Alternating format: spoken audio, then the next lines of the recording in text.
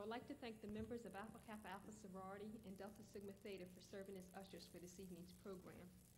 I'd like to thank you for attending tonight and encourage you to attend our upcoming programs.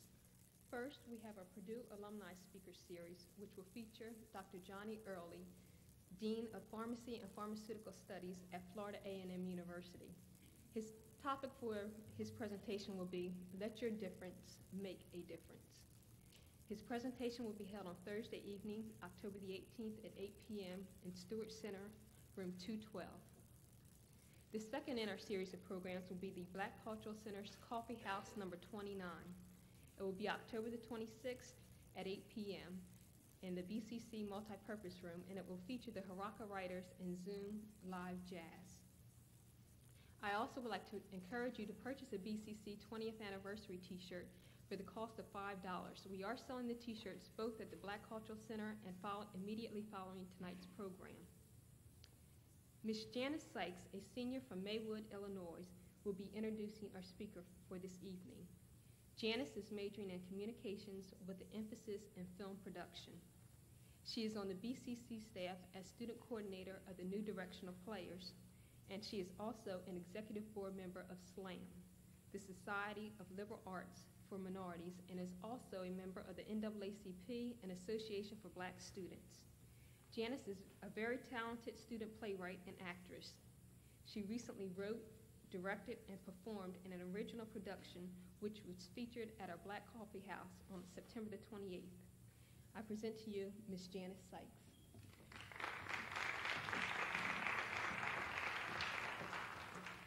Thank you. Following Mr. Davis's presentation, there will be a question and answer period, and followed by, following that, there will be a reception in the Purdue Memorial Union West Faculty Lounge. For over three decades, Ossie Davis has held a unique place among the great artists of American theater, equally distinguished as an actor, writer, and director.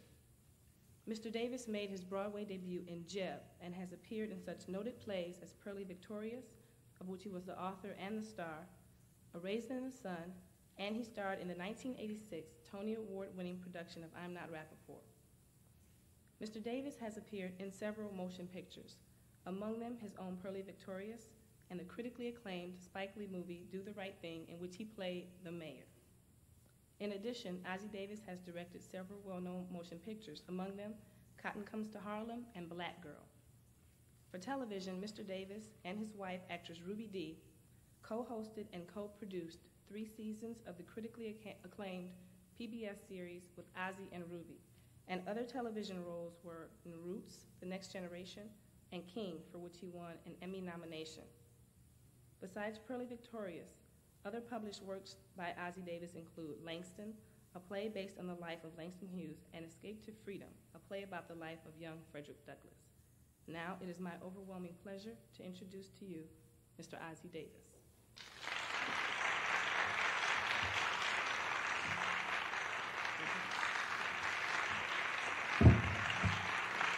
Thank you, Janice.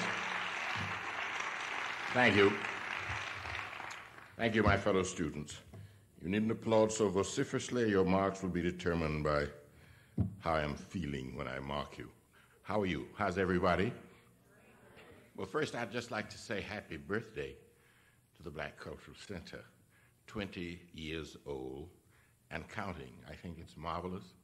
I'm happy to have been invited to come and share in the birthday celebration of this institution.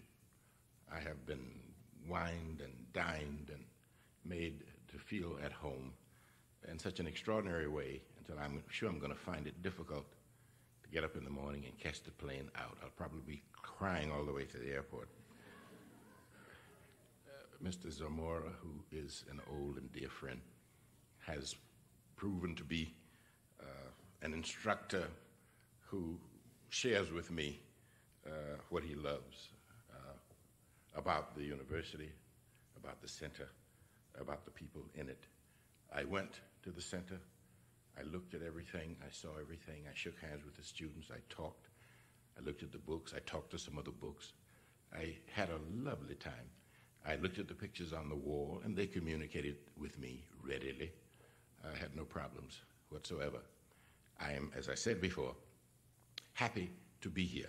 Uh, sometimes uh, when I travel, uh, I'm traveling uh, as a part of a twin, uh, as a part of a pair. Ruby Dee and I have been on the hustings about 30 years, but there are occasions where we show up one without the other. And the truth of the matter is, each of us is quite capable of, you know, you know gorging up a full evening entertainment. So don't, don't feel that you're being mistreated because Ruby is working with Spike Lee and I am here working with you. There'll be another time when the whole situation will be reversed and uh, she'll be here with you and I'll be stuck with Spike Lee. Now, which is not a bad, you know, stuck, as, uh, to tell the truth of it. Black cultural centers, what are they? Where do they come from? What purpose do they serve? Uh, on first glance, you, you might say that uh, black cultural centers have gotten together, you know, to make the black students feel comfortable and the white people uncomfortable. No, that's not really what it's all about at all. There is far more fundamental something at work here that has to do not only with black people and their culture, but America and uh, America as a place where all cultures uh, presumably have a chance to light their own light and show what it is that they are most proud of. But black cultural centers uh, are a relatively new phenomenon on the scene. Uh, this one is 20 years old. Uh, very few of them really are older than that. Uh, they came into prominence uh, at the end of and as the result of uh, you know the revolution of the 60s and the 70s, which started over questions of education and which ended with our institutions of learning being mandated to open their doors to the inclusion of all Americans who wanted to come study, regardless of their race, color, uh, gender, or creed. And uh, it was found that in order to satisfy some of the needs of the newcomers, uh, new things had to be put on the menu. Uh, courses that dealt specifically in this instance with black people, who they were, their culture, their song, their dance, and the meaning of it all. Uh, the educational institutions opened their doors, if not their hearts, uh, because in addition, you know, to uh, having to fulfill the mandate of good liberal consciences, uh, the government said, if you don't open your doors, we ain't gonna give you any more money, and that was very persuasive. Uh, the doors were open, and black youngsters did come in and began to find their way into the university. But was there a need for black cultural centers uh, on the campuses then? Is there a need now? Isn't education one thing? Aren't we dealing with truth? Doesn't two plus two equal four, wherever the situation, I mean, wherever you're coming from? Uh, uh, we're teaching Americans here, we're teaching literature, we're teaching what the truth is all about. Uh, why should there be any particular cultural reference, any particular bent in one particular uh, uh, area, doesn't that really distort the whole process? Aren't the universities engaged in the universal pursuit of knowledge? Uh, and opening their doors means everybody comes in and fills up his cup and goes back out into the, to the world. Well, the truth of the matter, uh, matter is, it doesn't quite work that way, nor should it. Education is about more than the results of two plus two. It is about much more than that. And uh, that's one of the motives behind establishing places like the Black Cultural Center. Uh, let me, before I do some sharing with you of some of the glories and goodies of uh, uh black culture, which is what I really uh, came to do, uh, let me put into some kind of perspective uh, what the Black Cultural Center is all about, how it relates to our history, not only the history of education, but black people in general in America, etc. Now, I warn you in advance, I'm not a scholar. Uh, fairly good student, but not a scholar. I'm not an authority. I'm not a teacher. I am a storyteller, which means I can tell you what I feel out of my heart that makes a good story. Now, uh, after you hear what I say, and you go back to your instructor and ask him, uh, Did you hear what I said? And the instructor said, yeah, yeah, yeah, it's all a lie, but it did sound good, didn't it? Um, that's perfectly within my purview. You know, I'm not here to convert you or to convince you. I'm merely here to share with you my feelings about the life I have lived, the books I have read, the people I have met, the races I have won, most of which I lost, but just, just open myself up to you. And if there's something in what I am that you want or need or can make use of, feel free. Now, let us go into Ossie's version of history and how black folks fitted into it. Uh, a long time ago, we were Africans on the mother continent, and uh, we, were the in, we were the inheritors of beautiful, rich uh, civilizations and cultures and literatures and various things like that. In those days, of course, this was, we were pre-literary. This was before uh, mankind in general and Africa in particular had started putting the great glories of their culture in written form. It was oral, and to this day we speak of black folks as having a very strong oral tradition. And uh, the oral tradition uh, came with us, and it, it, persists. And tonight I'd like to practice a little bit of it, even as I stand before you now. So this is not really a lecture. It's not totally a performance. It's an exercise in storytelling. So you have to keep your eye open when the story uh, is being told, because the storyteller is always a trickster, you know, and you have to check his facts and all that stuff. Uh, but if you can go along with him, sometimes the moral or the punchline makes the whole adventure uh, worthwhile. Um, that was a long time ago when we were in Africa, uh, the beneficiaries of great oral traditions. And then about four years ago, 400, no, 400 years ago, when we were invited to come over to America and participate in the great democratic tradition and uh, experiment, really, uh, we brought with us uh, certain habits, uh, certain now, it is true that we were denuded of our language, of our identity, of our cultural heritage, our tribal identity, and all of that sort of thing. But uh, some of the things that we had in Africa, we managed to hang on to. And one of those things was storytelling. And the great storytellers uh, came with us into the slave camps and stayed with us while we were slaves, and they serve us even now. Jesse Jackson is a good example, a great storyteller. And uh, we need his stories. The, not only black folks, everybody does. Uh, but that's the kind of thing that I mean. But to tell you my story, my storyteller's version of uh, life in America for black folks and how that led directly to black cultural centers such as the one we have now. Uh, consider the fact that uh, during the time of the revolution, there was a great ferment in the country. And what kind of country this was going to be was bruited about and talked about and fought over. And the question as to how black folks fit into the country at all was of major consideration. Uh, Mr. George Washington, in the very beginning, thought it would be better uh, to fight the whole American Revolution without any black folks at all. That would make the distinction between whites and blacks very clear, and he thought that would be, you know, the nice and bright thing to do. Uh, it was found early on that in a war you need all the hands you can get, whatever color they are. So George opened his heart and the, his military ranks and invited the blacks to come on in. Uh, the question as to their status, uh, you know, was, was brooded about, and the British were not kind. Uh, they said to any black who escaped and fought for the British would be given his freedom.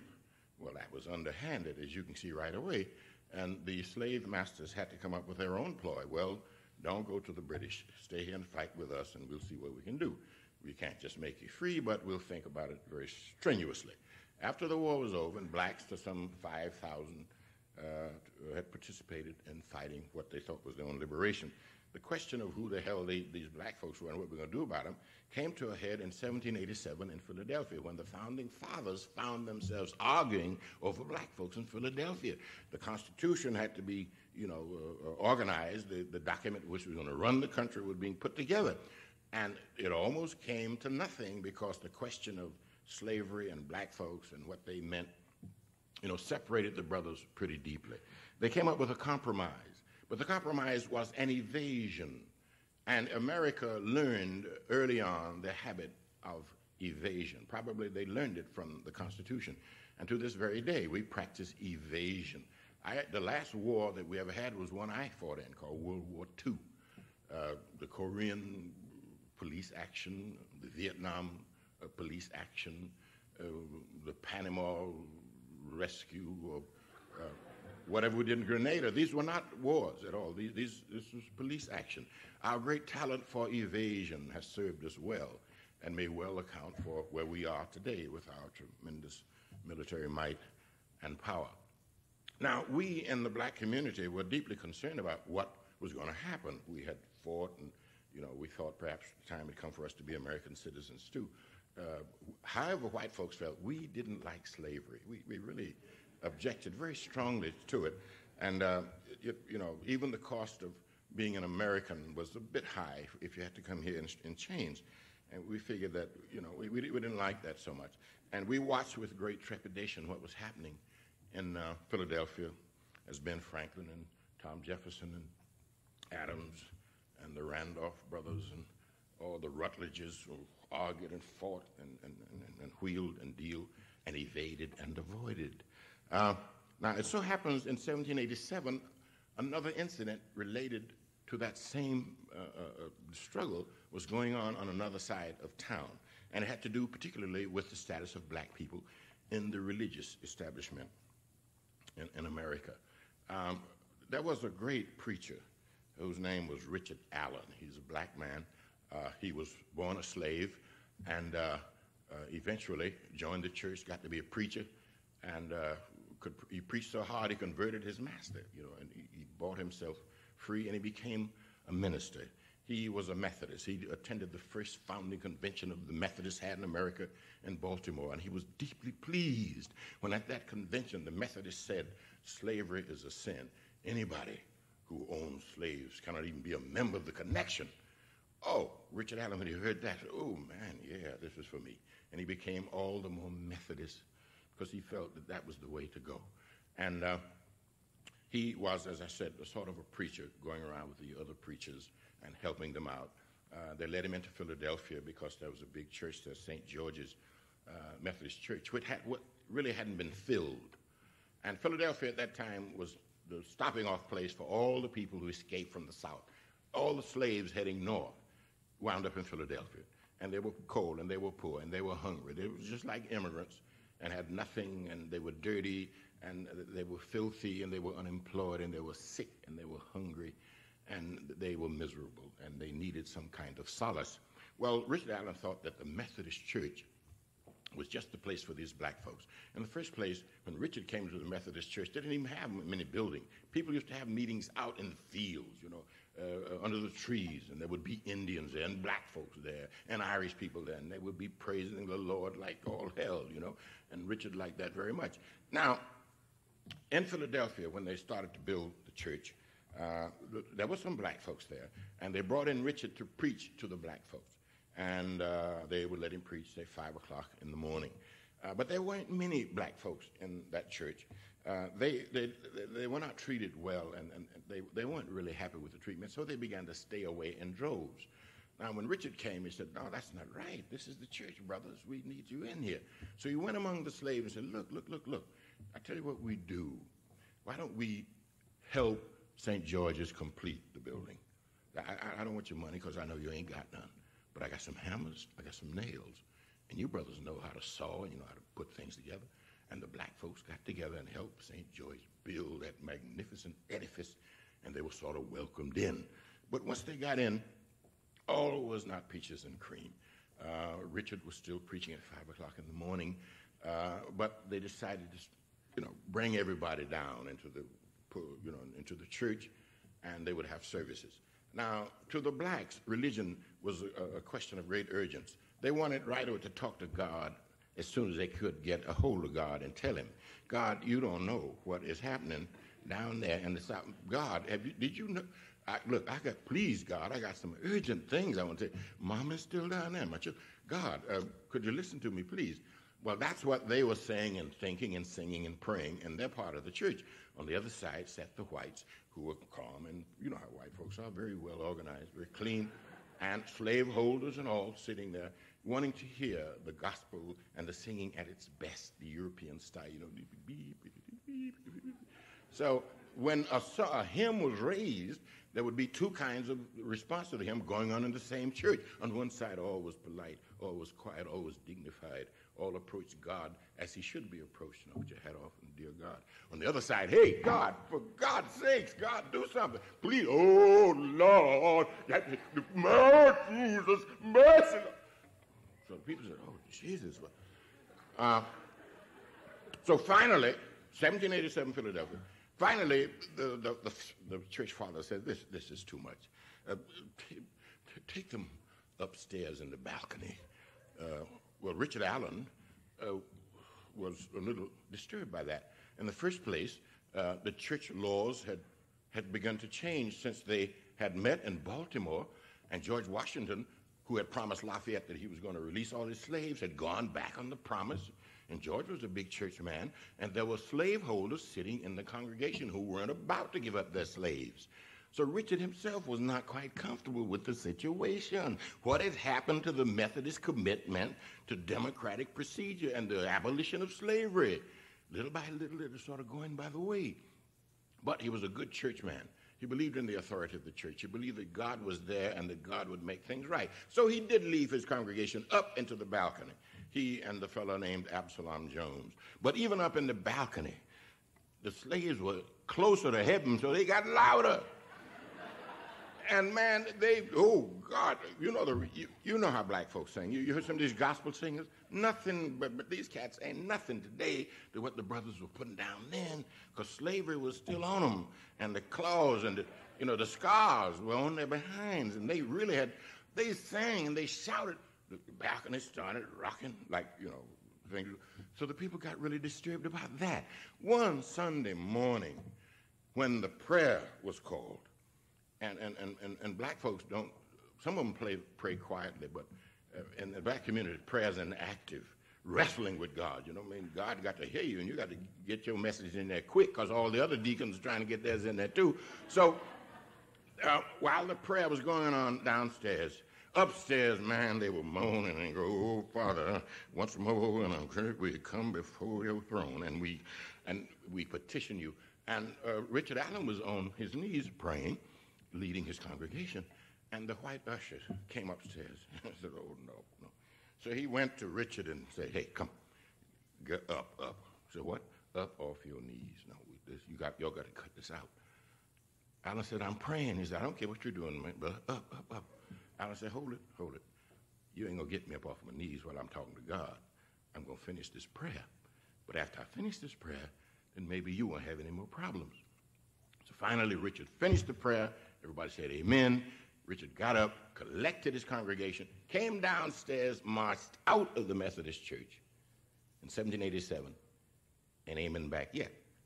Now, what happened? Richard went and this, with the help of uh, others, founded a, Bap, uh, a black church that was still Methodist, but it was by itself. Now, the Methodist Church connections said, Now we own this church, although you built it with your own money. We're going to staff it with officers, and we're going to be in charge of it. Richard thought about it a long time. He didn't want to rebel against the church, but he knew that he couldn't let that happen. The black folks had built it with their pennies and their hammers, and, their, and it meant so much to them. It was their consolation, and inside of it, they could yell as loud as they wanted to. So Richard said, No, no, in this church, we're going to have black preachers and we got black deacons and black deaconesses and uh, whatever. No, Methodists don't have deacons, whatever. So the big argument, the church says, you cannot tell us this church belongs to the connection and we're going to tell you how to run it. Richard said, no, it belongs to the connection a little bit, but we're going to run it ourselves. And in our community, we need for our black children to see somebody black in authority. We need to hear the gospel coming from somebody black. We need to have somebody on our side who is talking directly to God. We can't have somebody else who don't even know who we are trying to tell God our problems. Y'all got to get, get, get out of the way. So the church sued to maintain the dominance of the property of the church. Big uh, Bethel Church, which is in Philadelphia right now. And Richard had to go to court. And with the help of friends, Benjamin Rush, Benjamin Franklin, the courts ruled that the black folks could indeed control their church. That legal uh, opinion enabled the black folks to establish a separate black denomination, African Methodist Episcopal, which is going today. Now, the significance of this is very simply Richard Allen, and he's only one, you know, this, this happened all over the country, had to make a decision. he had to make a decision which really said, if we're going to survive in America, we have got to segregate ourselves. We've got to pull ourselves together. We've got to build our institutions. We've got to teach our children. We've got to maintain our own ways. Because the world out there is more and more calling us niggers. If we accept their definition, we're dead. We have to have institutions where we can define who we are, where we can pool our little pennies, where we can build our schools and build our colleges and universities and control our culture, which is our definition. So it was Richard Allen who was the father, to some degree, of black nationalism, who was the father of black people as an independent entity in American society. We deliberately segregated, withdrew ourselves from the larger body. And because we did that, we survived. Now, that was a dangerous thing to do because free blacks were always hated by the plantation owners who ran the government because they had a problem. How could they tell their black slaves that they're inferior and should work happily like mules when they could look up in Philadelphia and see free people with money and carriages and all free blacks? So there was an impulse to get rid of the free blacks in the country. As a matter of fact, there was a society for the colonization of Africa, which was not meant to colonize all the black folks down in the slave camps. No, no, no, no. Just the free blacks, those who owned property, those who were self sufficient, those who cared about the black folks in the South and wanted to do something about it, such as Richard Allen. And Richard Allen and his brothers were against those uh, uh, colonization societies because he understood what the political motive was to remove an effective component of black power and black concern in black institutions, to gut it and to send it offshore, leaving behind the masses of helpless poor folks in the slave camps. Uh, luckily, because of Richard Allen and others, we always fought that. And though some of us did go back to Africa uh, some of us even formed uh, Liberia, West Africa, where a lot of things are happening now on that theory. Most of us stayed in this country, but we stayed roughly to ourselves. We had our own segregated society. And because we had schools and churches, and the, ch- and the schools were based on the churches, and we controlled the churches, we created our version of the Christian religion, which sustained those values which were important to us. And because we did, we maintained ourselves as a people. And out of that church came our black thought, black science, certainly black music, black dance, black art, a black sense of identity. The churches and the schools where we sent our children, ingrown, ghettoized, segregated, separated, still they served our basic needs. It was not heaven by any means, it was hell but it still was an area that we could control and say who we were and who we were not. Now, this segregated and separated state lasted until slavery was legally abolished uh, uh, after the Civil War. And for a while, the blacks in the South and in the North thought that they indeed were free and that being free meant that they were also equal. Uh, not true. In America, it's possible to be free without being equal.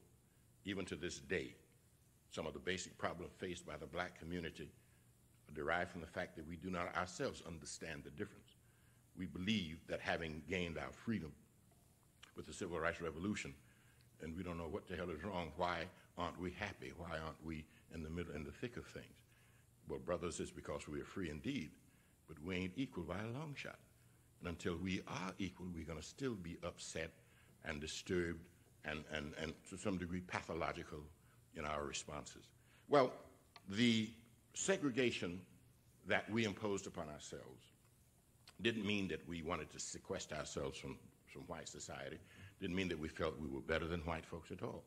It's just that we wanted to keep those things which were good and powerful to ourselves and to develop them for ourselves.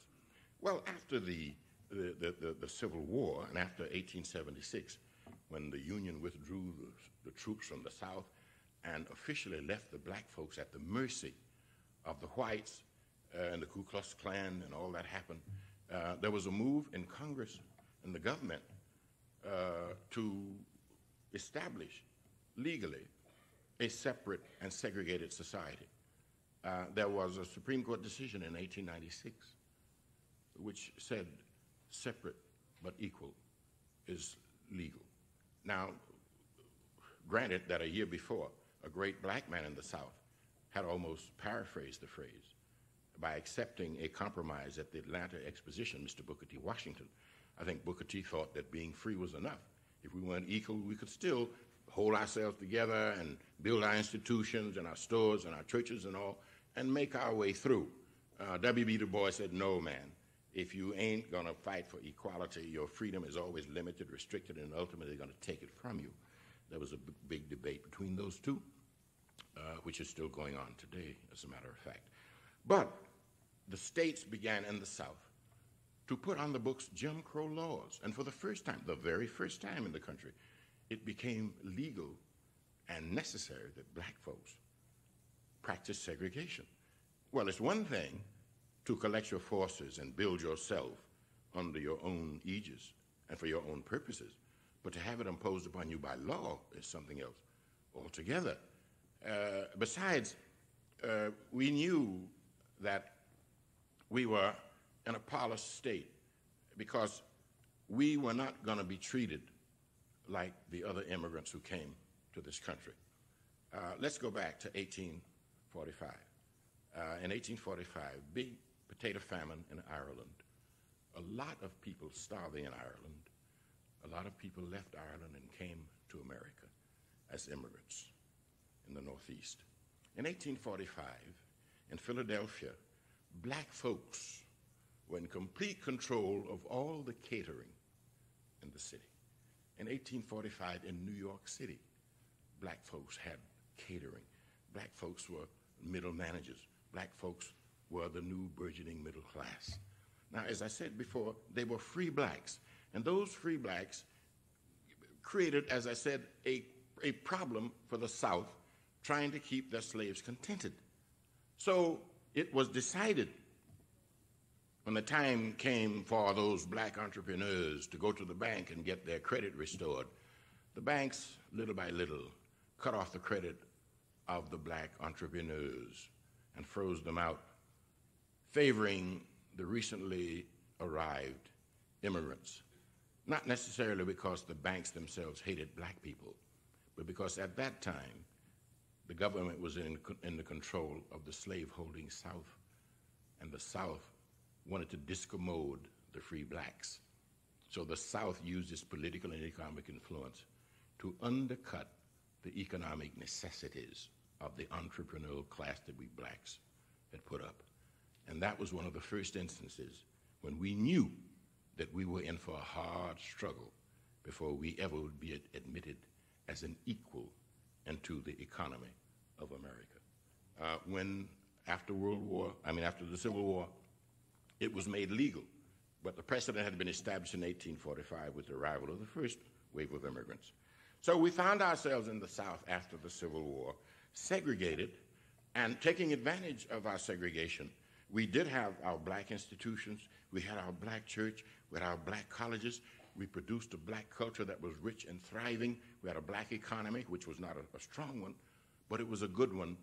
And we, were, we could be black and comfortable and know who we were and define ourselves in that society.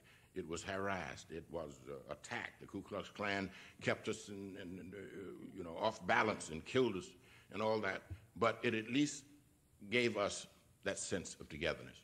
Now, we deliberately fought to end that state of segregation, not because we were foolish, not because we didn't appreciate what the black thing together would do for us, but we knew that on the question of equality, on the, which was decisive in American society, that as long as we accepted segregation, segregation was a way of accepting inequality and of society imposing conditions of inequality on it. We knew we'd have to pay dearly in terms of what happened to our institutions, our black schools, our black churches, and whatnot. But we willingly sacrificed in order to dismantle the barriers to equality in American society. And we lost a host of gifted black teachers, gifted black uh, instructors and college professors who, in the rush to integration, got phased out, left by the wayside. And we also sent our children newly freed from the black colleges and universities all over the country to enter whatever university they could get in. We knew this to be a right, and we knew that to preserve that right, we had to exercise it, and therefore we sent our children into the big uh, educational complexes where you find them today. And yet, the concern was once they get there, what then? When they were at the black universities, when they were at Howard, when they were at Fisk, when they were at Morehouse, they were surrounded by blacks. They studied black culture as a matter of course. They saw black role models, black, black, black, until it came out of their ears. But what when that same child went to another campus, bigger campus, a colder campus, a whiter campus that had another agenda, like perhaps even here on Purdue? Could we just leave our students alone? Could we accept the myth that any child in America can become president if he works hard enough? Is rugged individualism a true description of what happens in America? We found that if we thought that, we were, they, we were quickly disabused. Those children got on the campus. Nobody was waiting for them. Uh, nobody was particularly interested in what the hell happened to them. You know, it was sort of, oh, here it is. I got mine. Now you get yours. See what you can do. And um, coming from schools which, to some degree, were inferior because they were underfunded, uh, uh where our students were not prepared coldly to compete with the other students, a lot of our students were lost by the wayside. And even those that had the capacity and those that had the gift lacked the motivation they didn't feel comfortable. They didn't feel welcome. They felt that they had left something but had gained nothing. We therefore had to find some way to follow our students onto those campuses, not to take them back, but to make available to them on those campuses, wherever they were, some of those values that we had worked so hard to achieve since Richard Allen had walked out and taught us the virtues of being among ourselves. And so little by little, we formed on the campuses black cultural centers, not to attack white cultural centers, not to pretend that we had something so precious that nobody else could touch it or understand it, and not to also say, we are, this is an invalid ward. We need the Black Cultural Center because we didn't have it, we couldn't compete with you guys. None of that. The positive reason was that there is something in our culture that is precious not only to us but to the whole world, which if we lose, we lose the whole point of being black in the first place. And so black cultural centers came about. And in some instances, some places, they flourish. I think they flourish here on this campus, and I'm very pleased to come and celebrate this 20th anniversary of the establishment of this oasis, this island, this pool of self sufficiency, which we blacks need so much, not only for our children and ourselves, but to show to all the world. I dare say that those sons of mine, that one son out of four, who this day and this night languishes in prison or is a ward of the courts, if I had somehow found a way to give that son what is available in these black cultural centers, his, he wouldn't be there, and my heart wouldn't be so heavy as I stand and talk to you now. What we have here is valuable and vital but there is too little of it. And we do not know yet if it comes too late. A society that produces that number of individuals for which it has no need, economic or otherwise, is creating for itself a trap from which it may not yet emerge. We need to move and move quickly to make available to all people, whatever the riches of our culture and their culture, in a sense of restoration and resurrection, and a sense of the interior definitions of what we must mean by manhood and womanhood in this society. Those few words were meant to give you a sketch of the exterior of what we mean by black culture. Let us now, with your indulgence, sample some of the interior goodies produced by that culture. A short while ago, we were talking about the situation in Africa, even before Tarzan got there, when we did produce rich literature, when the great scholars of Europe going down into Africa, listening, hearing the stories, the rich folk tales, and they themselves had come from Europe where the Grimm's brothers had told tales and all of those. And they heard these stories and they were amazed that these people, these people, these heathens could create such sophisticated literature. And a lot of them very wisely proclaimed they didn't really do it. Sometime in the past, somebody from Europe slipped down through the back door and told them all these stories. Of course, it wasn't true. We had created those stories ourselves. And as I said before, we brought them and the telling of them with us to this country. Let me read for you now, share with you now, uh, a Nigerian folk tale.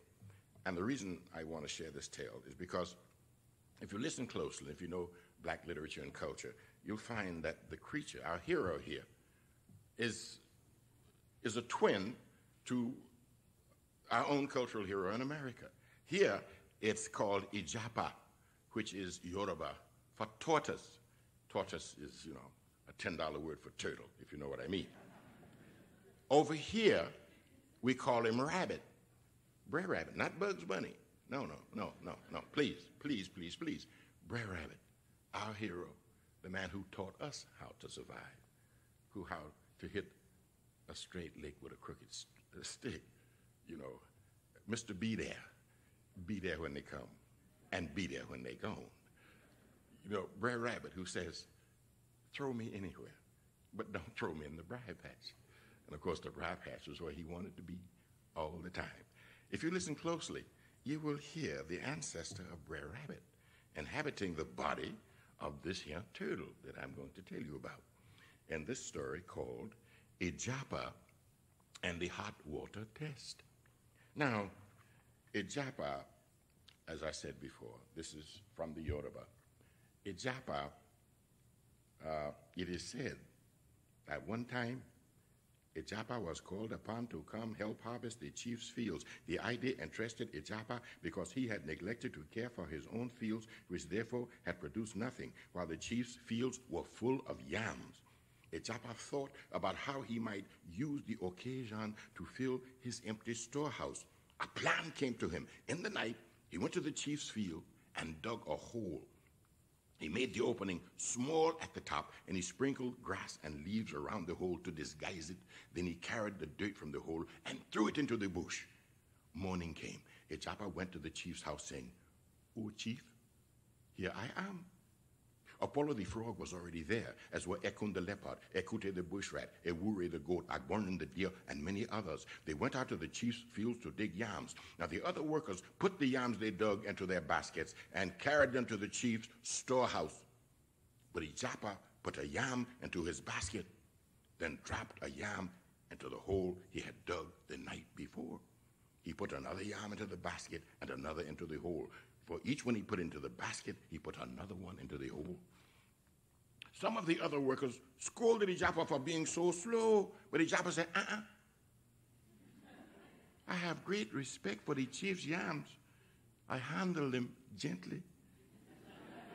so as not to bruise them. The work went on. Soon the yams were harvested. The workers went home.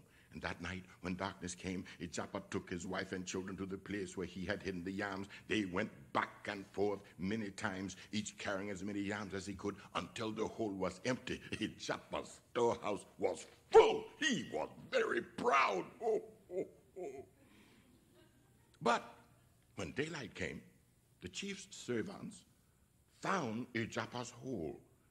They found the path his family had made while going back and forth. They followed the path to Ijapa's storehouse, and there they saw the yams. And they returned to report their findings to their chief. The chief sent for Ijapa. He spoke sternly. Ijapa, it is reported that you have taken yams from my field. Ijapa said, Oh, great chief, I came to help you with your great harvest. I labored in the hot sun. I brought yams to your storehouse. Now you reproach me. It is not I who has taken your yams.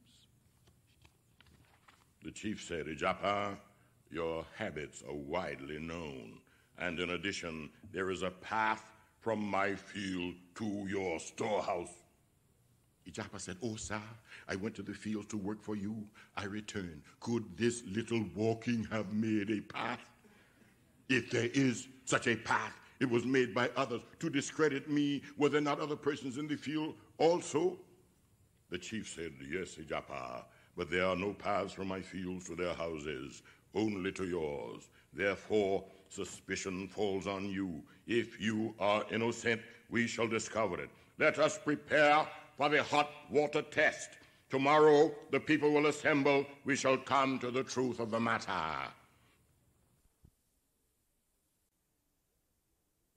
Water began to boil. The chief said, Ijapa has been accused of stealing yams. He denies it. For this reason, he will take the test. He will drink a bowl of the boiling water. If he is guilty, he will feel great pain. If he is innocent, he will not be harmed. In this way, we will know the truth. Let us begin. Ijapa spoke, saying, O sir, though I will be proved innocent, you still will not know who has taken your yams. The many persons here, let them also be tested. The chief considered it. Finally, he said, This is good advice. Let everyone who was in the field also take the test. Ijapa now became very helpful, as if he were the chief's assistant. He ordered that the pot be removed from the fire. Place it here, he said, so that the chief may see it from where he sits. They moved the pot of water from the fire as Ijapa directed. As I am the youngest, it is I who should serve the water to the others, Ijapa said. The chief agreed. So Ijapa took the bowl, filled it with hot water from the pot, and served it to Opolo the frog. The frog drank. It burned him inside. He cried out in pain. Ijapa filled the bowl again. He presented it to Ekute the bush rat. The water scalded his mouth. He cried out. Tears came to his eyes. Ijapa refilled the bowl and gave it to Ewure the goat. The goat cried. Ijapa gave hot water to Ekun the leopard. The leopard moaned in pain, and tears flowed from his eyes. Each person drank, each person suffered. And then it came to be Ijapa's turn. The chief said, All these persons have taken the test. All would seem to share the guilt. Now it is Ijapa's moment for guilt or innocence. Ijapa said, O chief, I, Ijapa, am innocent. Yet I am the one who was accused. Therefore, I shall drink the largest portion of the hot water. In this way, I shall prove beyond doubt that I did not commit the crime. The bowl is too small. Bring me a calabash. The chief sent for the largest calabash in the village. When it came, Ijapa filled it to the brim. He carried it to the chief, saying, See it, great chief. See how full the calabash is. The chief replied, I see it. You do well, Ijapa. Ijapa carried the calabash to the family of the chief. Family of the chief, See how full the calabash is. The family of the chief called out, We see it. You do well, Ijapa. Men of the village, Ijapa chanted, See how full the calabash is. The men all replied, We see it. You do well, Ijapa. Women of the village, see how full the calabash is. The women of the village all replied, We see it. You do well, Ijapa. Boys of the village, girls of the village, see how full the calabash is. The boys and the girls all replied, We see it. You do well, Ijapa. Ijapa showed his calabash to this one and that one as evidence of the large amount of water he could drink. They could see that Ijapa was not shrinking from the ordeal. Meanwhile, the water in the calabash was getting cool. At last the chief said, Ijapa, we have declared ourselves enough. You do well. Now let us get on with it. So Ijapa drank. Because the water had become cool, it did not pain him. He emptied the calabash. The chief nodded his approval. Ijapa said, Yoo-hoo, you have seen it, all of you. I did not cry out. Tears did not come from my eyes. How then can I be guilty? And as an additional proof of his innocence, Ijapa jumped into the pot from which the water had come. The water in the pot was also cool. Ijapa made sounds of pleasure as he splashed around. Oh, oh, oh, oh, He was very pleased. Then he said, It was time to get out. And the chief said, No, Ijapa, don't leave the pot. Don't leave the pot. Don't leave the pot. I want my other wives to see how well you are doing. Make another fire under the pot. Another fire was built as the chief directed. His other wives came and took their places beside him, and soon the water began to get very warm. Chief, said Ijapa, wiping the sweat from his brow, may I come out now? The water is heating up, you know. Yes, Ijapa, but since you are not guilty, it cannot possibly harm you. Don't leave the pot. You do well, Ijapa. Don't leave the pot. The whole village agreed. No, Ijapa, don't leave the pot.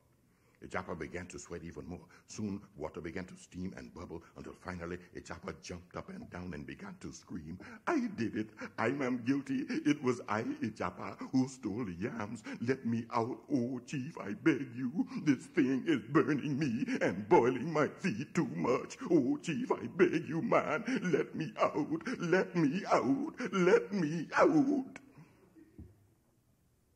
The moral of the story is if you can't stand the hot, don't get in the pot.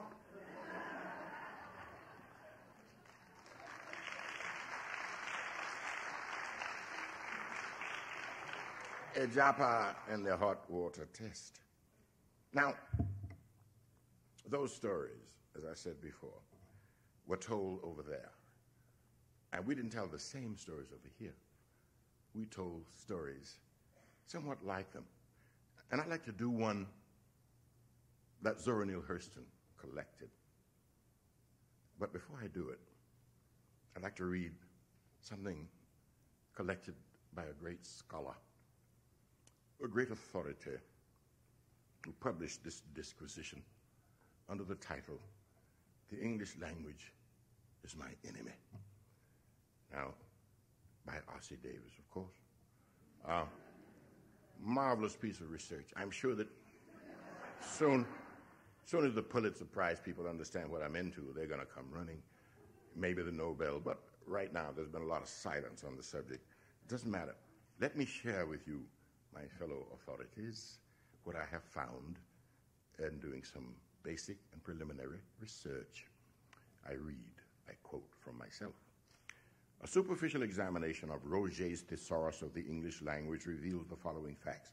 The word whiteness has 134 synonyms, of which 44 are favorable and pleasing to contemplate. As, for example, purity, cleanness, immaculateness, bright, shining, ivory, fair, blonde, stainless, clean, clear, chaste, unblemished, unsullied, innocent, honorable, upright, just, straightforward, fair, genuine, trustworthy.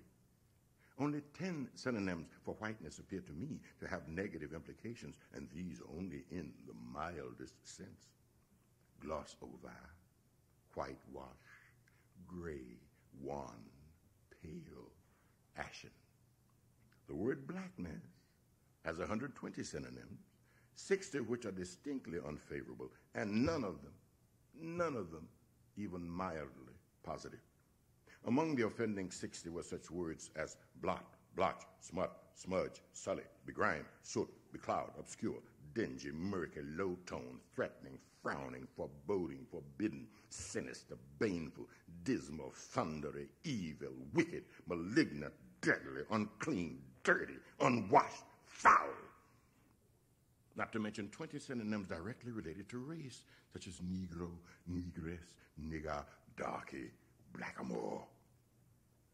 When you consider the fact that thinking itself is subvocal speech, in other words, one must use words in order to think at all. When you consider that, you will appreciate the enormous heritage of racial prejudgment that lies in wait for any child born into the English language. Any teacher, good or bad, white or black, Jew or Gentile, who uses the English language as a medium of communication is forced willy nilly to teach the black child 60 ways to despise himself and the white child 60 ways to aid and abet him in the crime. If my conclusions are correct, do we need any further proof of the benefits of black cultural centers? Now, but to get to, let's get a little to Zora Neale Hurston. But before I get to Zora Neale Hurston, one more digression. Uh, this is research done by somebody else, not me. But as a scholar, I respect other people's opinions. Let me read a little from their research. In the Shakespeare Memorial Theater at Stratford upon Avon, there are 33 seats which bear bronze plates on which 33 great names are inscribed in memory of the greatest names in world drama. These are actors Burbage, Garrick, the Kembles, Kean, Macready, Forrest, Irving, and others. One of those chairs of honor bears the simple inscription Ira Aldridge. Ira Aldridge one of the 33 greatest Shakespearean actors who ever lived, an American Negro born in New York City who left home in 1825 to find fame and fortune and honor on the European stage. Aldridge received in his lifetime honors and decorations from the crowned heads of Europe and learned in artistic societies unheard of for an actor either before or after his time. Parenthetically, that is no longer true. Olivier now is the most decorated. But until that time, the man most honored and decorated in all the world was Ira Aldridge, a black man born in New York City. It's not that Aldridge was a genius or that he was a Negro, but what happened to his memory, especially in this country, that we want to comment on. In 1858, Aldridge performed in St. Petersburg in Russia, and his performance was reviewed by no less than the great French writer and dramatic critic Théophile Gautier. Théophile Gautier. Professor F.A. de Sumichrast of the French Department of Harvard University translated the entire works of Gautier, 24 volumes, into English. But if you were to compare the original French text against the professor's translation, line by line and page by page, you would find the translation beautiful enough, exact enough, up to the passage on Aldridge. But then the professor makes an abrupt halt, takes a leap, and continues his translation one paragraph beyond. In all the 24 volumes, faithful to the works of Théophile Gautier. his mention of Ira Aldridge is left out by Professor de Sumichrast. How are we going to put it back? Black cultural centers. Okay, now, on to Zora. On to Zora. Okay, now, this is a story in the spirit of the African stories. It is not about an animal, it is rather about a mollusk, a, not an insect. But what is a snail? Well, we don't want to embarrass any bio- biology students here, so we won't even ask the questions any further. But you know, a snail is a snail is a snail, right? Okay, this is about a snail. Now, this is a story that Zora Neale Hurston collected on one of her many trips to the South. Zora was not only uh, an anthrop- uh, not only a great storyteller and a writer, and had come from the South, she was also an anthropologist and had studied under the master himself, Dr. Franz Boas, at Columbia University in anthropology. Not only had she studied under Boas, not only had she mastered the disciplines of anthropology, she joined him in a mighty experiment that affected black folks in American society even to this day. How? Please don't rush me. In the 20s, in the 20s in this country, there was a scientific law that really had us by the collar. That law was that black folks were inferior indeed, but they couldn't help it. They had little minds because they had little brains. And the littleness of their brains grew from the fact that they had smaller cranial capacity than their white brothers. And so, how could you help people who had peanut heads? What could you do for them? Does it make sense to pass laws through Congress to give them money to build them black cultural centers? They cannot assimilate knowledge. Their heads are too small. And so great scientists went around feeling sorry for black folks because the head was too little. Now, Professor Franz Boas had some questions about this scientific theorem, and he wondered in certain circles uh, has anybody taken the trouble to measure some blackheads as against some whiteheads? When he raised the question, of course, the scientific community looked at him with scorn. Sir, how dare you? You expect us to go out and measure black heads? What do you think we are? Franz says, okay, I'll do it myself. And that's what Franz did. Now, right near to Columbia is a fantastic collection of black heads owned by black people in a black town called Harlem. So Franz said, hey, look here, I got a whole pile of evidence right over the railroad.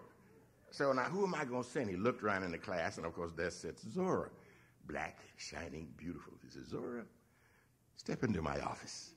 So he got Zora in the office, gave her the assignment, and told her the importance of this. Zora, upon the success or failure of this experiment, the future of your people undoubtedly rests. Go, Zora, measure some blackheads, and God go with you.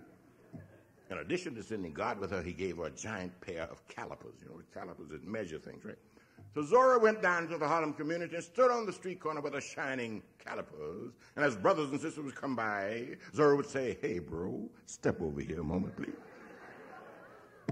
The brother would stop his headlong flight, you know, trying to make a dime or something, and say, Yeah, yeah, what you want, honey? I'd like to measure your head. Hey, what's the matter with you? Is you, you crazy? No, no, no, I'm not crazy. I have this instrument here. I want to measure your head. Said, look, chick, if you don't get out of my face with that damn, whatever that thing is, I'm going to knock you on the flat on you. But Zora said, look, bro, we black together, right? And we in the same thing, and this is important. The white folks want to measure your head. We don't want to keep the white folks waiting, do we? So the brother would be convinced, and Zora would measure the brother's head and jot the measurements in her little book. All up and down Harlem, she went with her magnificent calipers measuring the heads of black folks. And she collected data and data and data and data, piles of it. So did other researchers until finally Franz Boas came out with a book saying statistically, measure for measure, ain't no difference between white heads and black heads as far as nothing And if black folks is inferior, it ain't because their heads are small. And the scientific world had to say, well, if you're going to measure them, in that case, what are we going to say? But Zora Neale Hurston was involved in that experiment and helped out in the liberation of her people with a pair of calipers. You know, she was a great scientist. Then she went south to collect some stories. She collected songs, she collected hymns, she collected all kinds of stuff. And uh, then, mm-hmm, I'm getting close, don't worry. Um, but you, I want you to, to, to, hear this. This is a story she collected that has to do with a Sister Snail. Now, Zora tells it uh, because Zora was born in a small town in Eatonville, uh, which was a black community. Her father was the mayor and wrote the laws. And every day on the town's cultural center post was a store, you know, one of the country stores. People sat out on the porch and they would tell stories. And these stories were magnificent creations. And Zora, as a child, would just listen and listen and remember. And this is one of the stories she heard from her forebears sitting upon the porch and has to do with uh, Sister Snail. Now, I have added something which I think Zora would permit me to do. Um, I had a lot of aunts when I was a little boy down in Cogdell, Georgia, and those aunts used to sit on the porch with my mother, and they would comb each other's hair, and they would be talking. And the ladies at that time thought it was rather stylish to dip snuff. And they would be sitting there talking to each other with their lips loaded with snuff. now, snuff is a cultural uh, artifact you got to deal with careful, like, you see. First, you got to get this snub and put on your finger, and you put your lips out, and, mm-hmm, and you put this snub between the lip and the gum, and it come out like that. And then you got to tamp it in there and hold it for a while till you can get it together. If you don't, if it's loose too much, you're liable to spit on your neighbor. And neighbors don't like that none. So you got to take time and get your snuff together before you start talking and communicating. Now, I think Sis Snail was a snuff dipper. So I'm going to share that with you tonight. Now, one morning, Lige, you know, the human in this, met Sis Snail on the far side of the road. He had passed there several times in the last three years. He had stepped over her several times in those last three years as he crossed the road. She was always forging straight ahead. But this morning, he found her clean across the road, and she seemed mighty pleased with herself. So he stopped and he asked her where she was headed for. Going off to travel over the world, she told him. I done left my husband for good. Oh, how come, Sis Snail? He didn't ill treat you no way, did he? Can't exactly say he did, Brother Lige. But you take and you take just so much, and then you can't take no more. Your claw gets full up to the neck. The man gets around too slow to suit me. And look back, I just can't break him of it. So I done left him for good. I'm out and gone. I get around right fast my own self, and I just can't put up with nobody gets around as low as he do. Oh, don't leave the man too sudden, said Snail. Maybe he might come to move around fast like you do. Why don't you sort of reason with the poor soul and let him know how you feel? I done tried that until my patience is all wore out. And this last thing he done run my cup over. You know, I took sick in the bed, had the misery in my side so bad that I couldn't rest in the bed. He heard me groaning and asked me what was the matter. I told him how sick I was. Told him, Lord, I'm so sick. So he said, if you sick like that, I go get the doctor for you. And I said, I sure would be mighty much obliged if he would.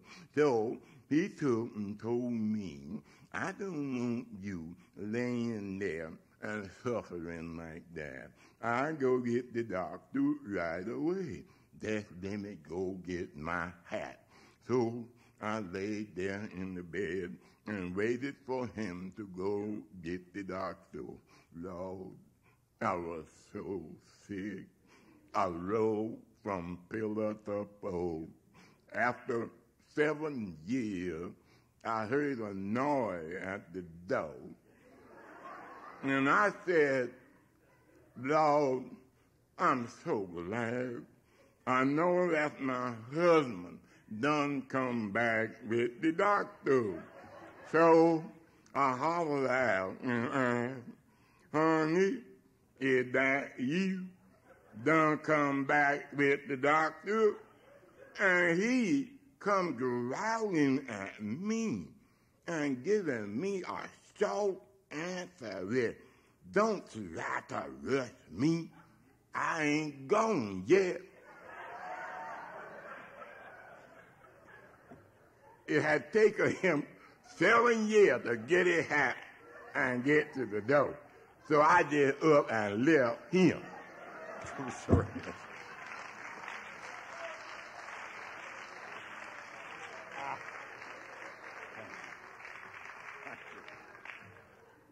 Ah, thank you very much. Uh, we're going to tell you. Uh, it's time to stop, and I'm sorry. Just got sort of warmed up. But uh, there are certain constrictions, time being one of them. Uh, it is now 9.12 or something like that, and I'd like to spend some time uh, on questions and answers uh, before I think there's a reception. But um, anybody who has a question, Anybody has an answer? Just stand up, sing out, and let me have your question. Now, as I said before, I'm not an authority. I'm not a scholar. I'm a storyteller. And I lie a little sometimes, but only in the best of interest. I mean, I don't, you know. And like I said, Purlie said, I never told a lie yet. I didn't intend to make it come true someday. See? So, what you have a, did you have a, somebody raise their hand. Yes, sir.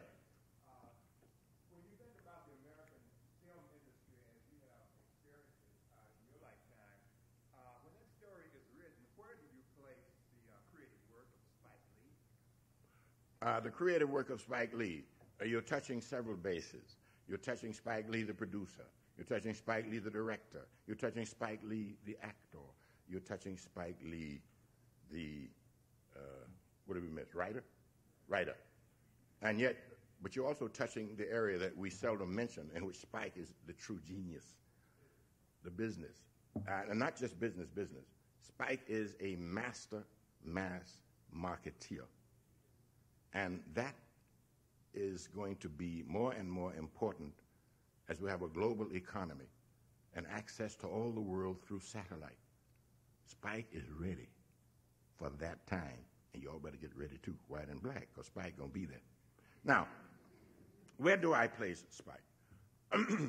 I don't think Spike is the greatest writer in Hollywood. I don't think Spike is the greatest writer among black writers at all. I think Spike is young. I think he's growing and will continue to grow and will eventually become a writer of some consequence. Um, I like what he's written so far. But judged purely as a writer, I would say to him, my fellow student, go and work some more. Spike, as a director, is good and growing better all the time. Each film he makes is a step ahead and beyond what he made the time before. He is indeed one of the gifted directors in Hollywood. Uh, now, Spike also is one of the most easygoing directors, which means that Spike has to be a genius at casting. Because Spike's way of directing is to say, oh, there's the camera, and uh, here's you, and then there's this thing over here. Okay? Uh, roll them. And, and you got to be ready with your stuff. You know, Spike is not going to give you acting classes and go into too much details.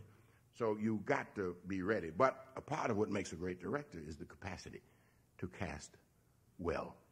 Now, Spike as a producer is indeed a phenomenon. Usually, independent producers produce one thing, and then if it's brilliant, they may get a chance to produce two. But man, if that two don't make it, if, if they black, That's the last you hear of that great producer. Spike is a producer because he is also a promoter and a mass marketeer, ties his productions to his performance in such a way that Hollywood cannot close the door in his face. By that I mean, Spike seems to know how to reach through the institutions already set up there to exclude him, the distribution network. He uses Hollywood's distribution networks, reaches through that network, put his hands on his own people and say, hey, bro, I got some at the box office. Come on, and let's take a, a, a shot at it. And black folks listen to Spike and come to see Spike's film in such sufficient number that the box office, you know, gets pretty heavy. The box office got the mumps, like Dizzy Gillespie says. Plenty money in that. Hollywood, seeing that, loves the brother. They hate him, but as oh God, the man has the gift for money. As long as they believe that, Spike, all he has to do is to get on the plane with his wheelbarrow, go out uh, to the studio, say, okay, fill it up. And they fill it up, say, okay, uh, don't call me, I'll, I'll call you. Uh, don't, don't, don't come to Brooklyn because I ain't got nothing for you to do. I'll, I'll, I'll get back to you. Then he goes and he does his film. And he cuts his film, he edits it, he puts the music to it, does everything.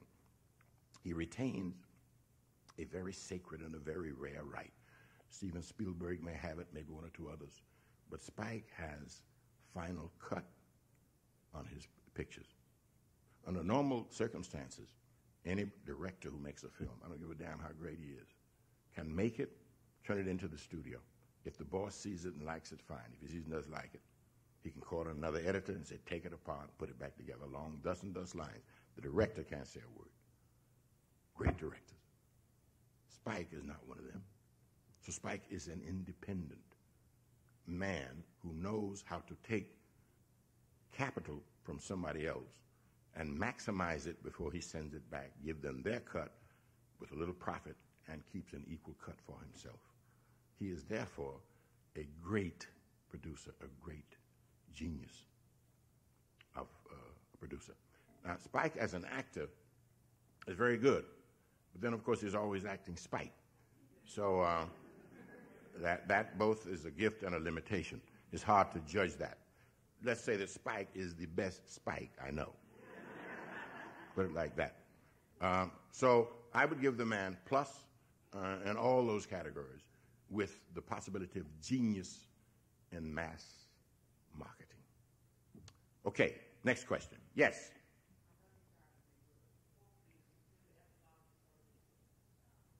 When I do the epilogue of Purlie Victorious, that's a question. I'll consider what I want to answer that uh, uh, after, a while. Okay, who, if I remember it? Uh, another question. Yes. Yeah.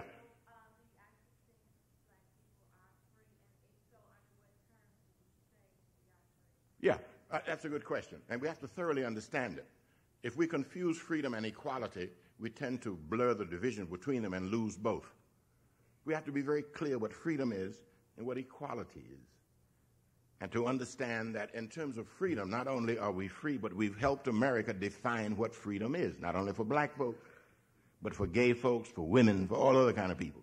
Black folks have helped America define what freedom is.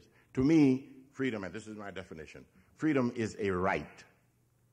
It's a right that pertains to an individual by virtue of the fact that he or she is born into a contractual arrangement spelled out in the Constitution. 14th Amendment, all them amendments, and the Civil Rights Law. We are free. We are free to go where we want to. We're free to go into this university.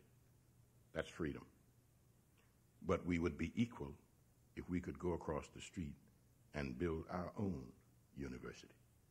We can't do that yet.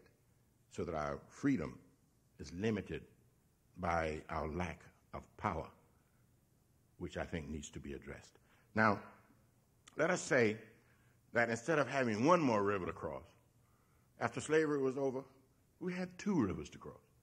The river of freedom, and we've crossed it in style and Martin was there leading us across, you know, and, and, and Malcolm and all.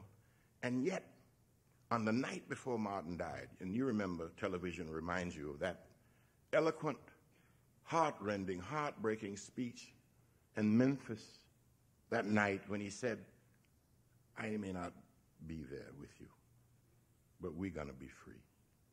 You know, I have been to the mountain and I've seen what it is on the other side. You know, mine eyes have seen the glory of the coming of the Lord. And I can't see that without tears coming to my eyes. But do you know what the main body of that speech was that night? The main body of that speech was very simply that black folks have certain powers which they themselves need to maximize in their own interest. It had nothing to do with white folks.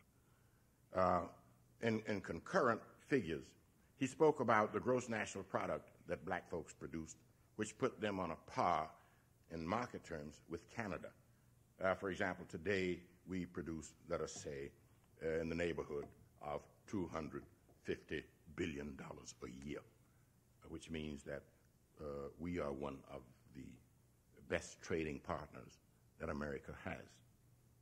Uh, Canada may be somewhere in there, but black folks are about the ninth richest uh, market in the world. And you would say, being all that rich, $250 billion in your pocket, hey, bro, what's the problem? Why can't we solve one? Oh, man, I'm just loaded with this stuff here. Uh, why can't we get there and do something? And that's a key question. The reason is because the 250 that we generate is a resource, but a resource only. And power is control over resource, not ownership. The very rich say very simply control everything, own nothing. Well, that's something we can debate. But what we need in order to establish or to achieve equality in, in, in black America is not something that the whites can give us. It is something that we must give ourselves. We need to establish the institutions that other groups established when they first came here. A lot of people came here and got down in the ditch. The Italians, the Jews, the Hungarians, the Polish. They got in the ditch, but they didn't let their children stay in that ditch. The child went to high school and on to college. And they said, Children, go to school. Mom and dad would make these pennies and these nickels, but we want y'all to show us how to spend them to help all of us. And that's what black folks need to do with our children right now. See, we got all this money, but we don't know how to spend it. Go and teach us how to spend our money. Create for us a black middle class. That's what the black middle class is supposed to do. Create for us black entrepreneurs who will give us black banks, black financial institutions, who will take us, use let us know, know how to take the dollar into our community and make it turn around 10 times before it comes out again, instead of turning around only once. So, when we talk of equality, it has an economic frame of reference, and we have to pay attention to that. Malcolm raised, raised the question a long time ago, and he raised it in, in this way. He said, yeah, yeah, you fighting out there and you dying. You know, you picketing and all that stuff and getting shot for the right to go in at the white man's counter and eat a hamburger. But you ain't considering the question of what you're going to do and get in there and ain't got the money to buy the hamburger. So we achieved the freedom to go inside and get the hamburger. Only equality, which is the management of our resources for our needs, will give us the power to stand with all the other groups at the trough underneath the belly of the great cash cow and suck our tit like they do. That's how America operates. We are not there yet. We can see it, and one day we will be able to do it. But this generation has the assignment not of achieving freedom, but of using freedom to achieve equality. Here, here, here. Next question. Yes.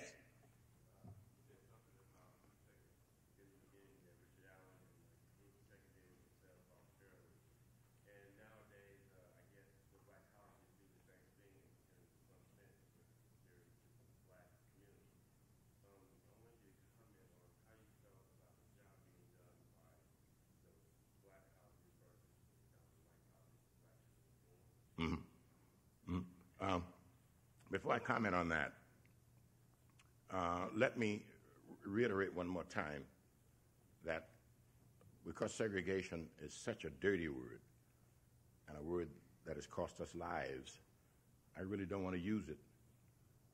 What I meant was that we used our collective strength to help each other do what we needed to do as a group. And that required us building black institutions that I mentioned. And black colleges are black institutions that help us.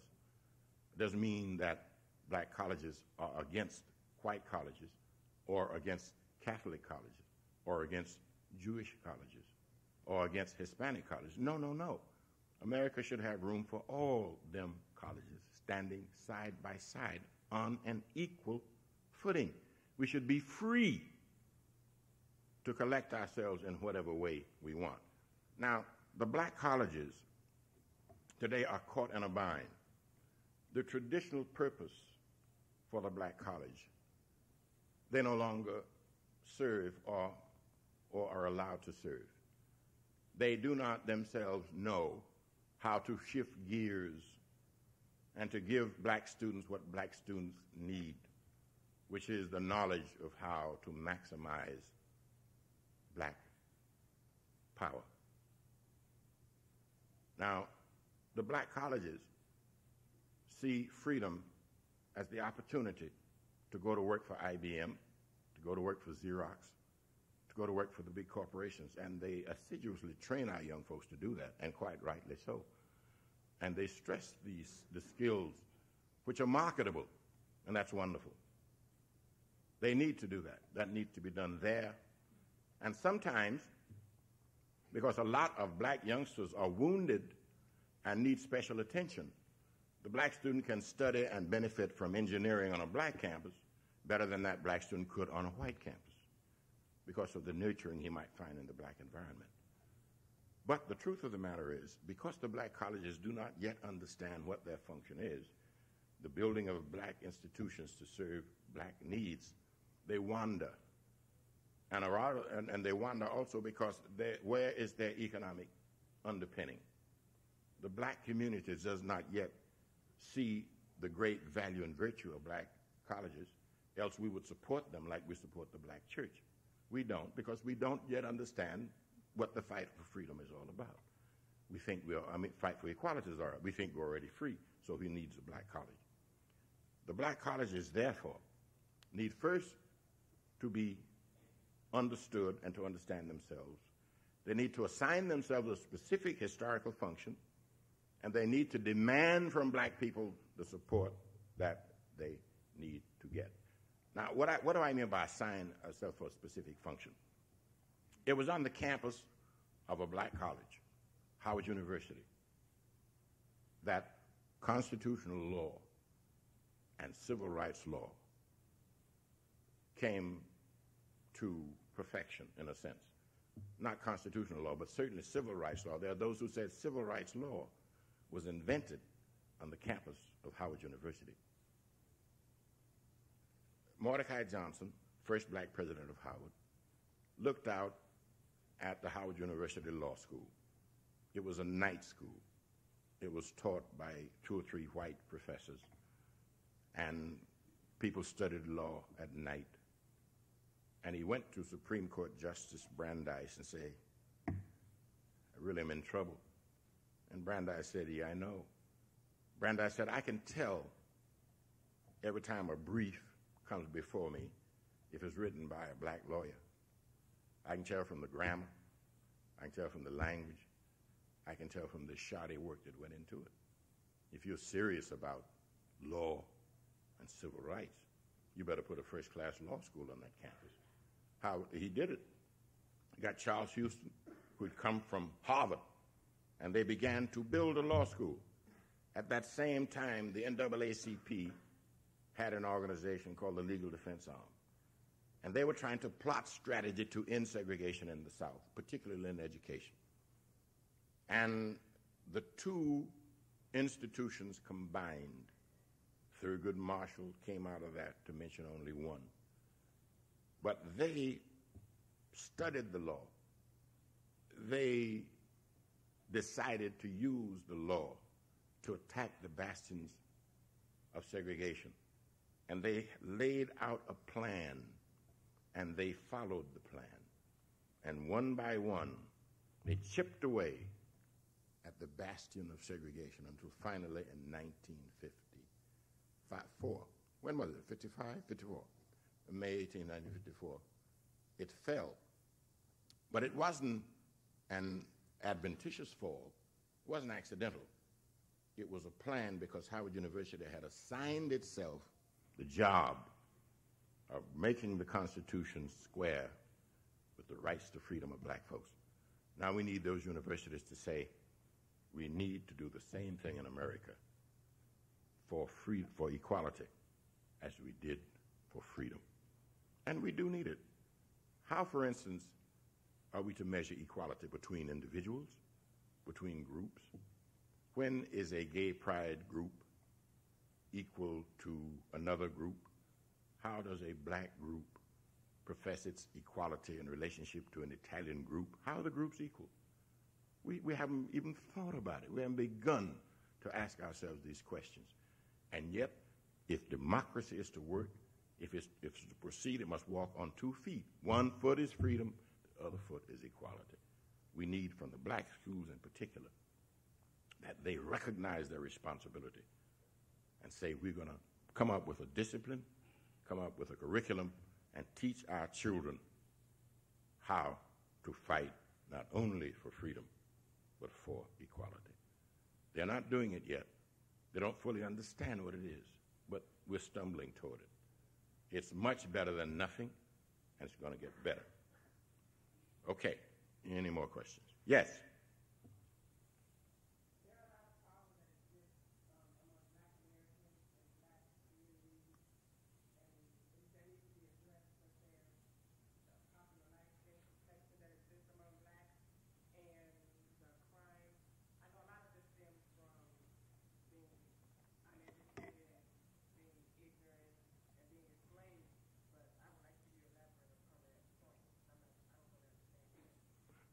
Okay, you had two questions. One, I think, was about complexion as a, as a tool among black folks, a political tool among themselves. Um, uh, that, to some degree, might be a fact, but it might be a prejudice in house. I do not think that it has uh, uh, too much significance. I do not think that the light skinned blacks have class distinctions between the dark skinned black. I think America looks upon race as definitive. And if you got that one drop in your brother, you know, like Malcolm said, you know, you're all in the same boat, so don't, don't worry about it. Now, but the other question crime in our communities, where our young people are killing each other, as in Detroit, you know, or killing the old people, or wrecking their own communities. Black on black crime the greatest cause for death among young black males is homicide, mostly visited upon them by other black males. It's a crisis situation. What indeed are we to do about it?